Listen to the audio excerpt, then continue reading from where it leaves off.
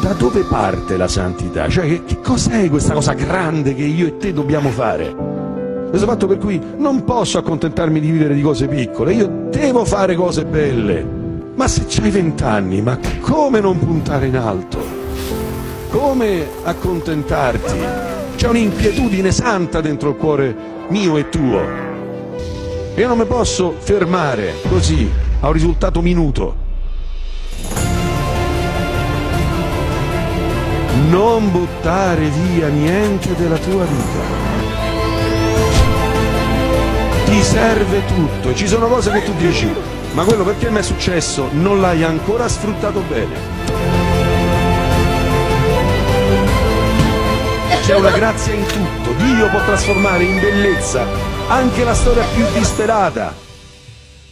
Non abbiate paura di essere santi, perché ne ho paura, perché ne hai paura perché abbiamo paura di andare fino in fondo. E vai fino in fondo, che c'hai da perdere? Abbiamo paura di credere alla bellezza che noi siamo, ma Cristo ci crede, Cristo ci crede che tu sei importante, dà la vita per te, muore per amore tuo, per te risorge. Ma ti tratti come una cosa da quattro soldi, mentre invece sei importantissimo. Vali il sangue di Cristo, quanto valgo io? Quanto vali tu? Il più triste che sta qui il più sgonfio, il più scoraggiato che stia qua dentro, sappia che non sta credendo alla verità. Se la tristezza abita nel tuo cuore, non è la verità quella lì. La verità è Cristo e la verità è che Cristo ha pensato che tu sei uno che vale la pena che la seconda persona della Santissima Trinità fosse torturato, flagellato, crocifisso, morisse per amore tuo. Lui ritiene che si può fare. Lui ritiene che tu vali la pena.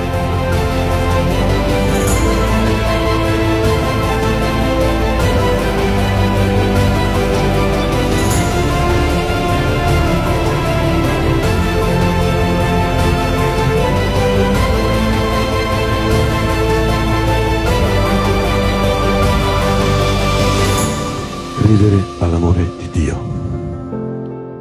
Guarda che Dio non ti ama solo perché è amore, ti ama anche perché ti ha creato Lui e sa che sei bello, sa che sei bella, sa che senza di te non si può fare. Sai perché ti ha creato Dio?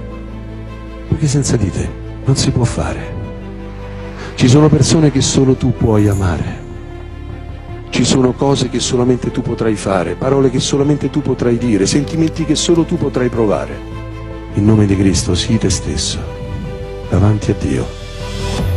Speriamo ci sia qualche coraggioso qua dentro.